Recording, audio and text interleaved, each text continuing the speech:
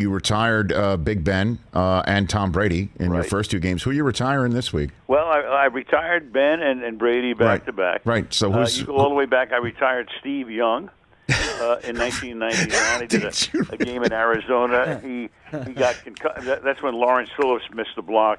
Young got concussed, and that was the end of Young's career. Oh my gosh! When I did the NBA for two years back in the early 2000s, I I retired Reggie Miller.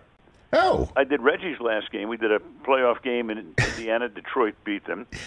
So I think of myself as the Grim Reaper. but Rich, I'll tell you one thing. Yes, I'm retiring myself this week. Okay. I guarantee you that. okay. I like that. I like that. No retirement for you this week, but so everyone else needs to have their head on a swivel. Correct this week. No, you know, it's, uh, I'm, I'm just, you know, I love it. uh, you know me at this point in my life. I'm all flowers and and, and love. and Well- and, and it's Valentine's Day coming up. That's true. Day after, and and so uh, I don't know if you you heard uh, on Tom Brady's podcast last night. Al, are you aware of what he said on his podcast last night? I think you night? waffled a little bit from what I, I read. the- anyway, The creaking noise you heard last night was the retirement door, uh, door being left slightly ajar all of a sudden. right. You know? Right. You know, when we had him in that uh, the Ram game, Right.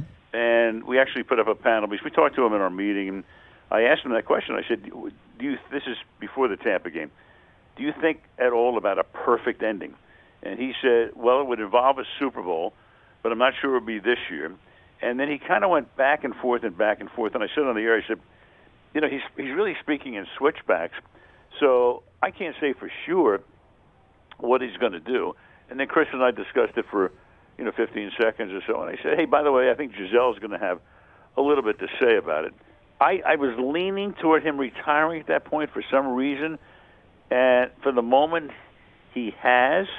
I think he will stay that way, but I don't know. You know, maybe the juices flow in a different direction come mm-hmm. June or July, and he's out there, and maybe he does come back.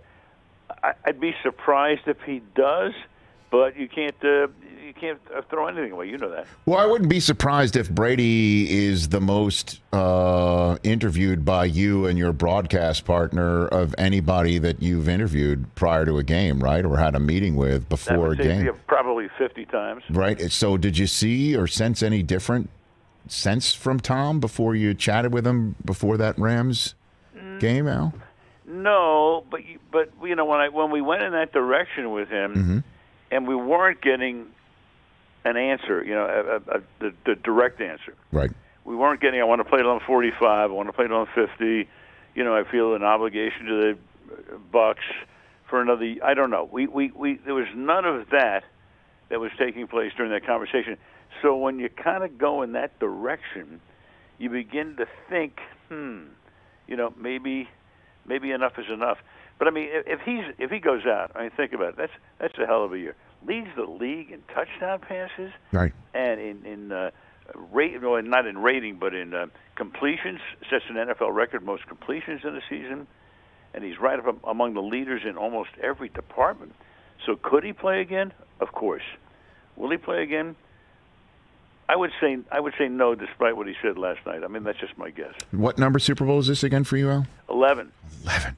One more than Brady. That's right? maybe maybe he's trying to catch up with me. yes, indeed, Al. Maybe he's trying to catch up with you. Hey, you watched all the way to the end. Thanks for that. Watch more right here.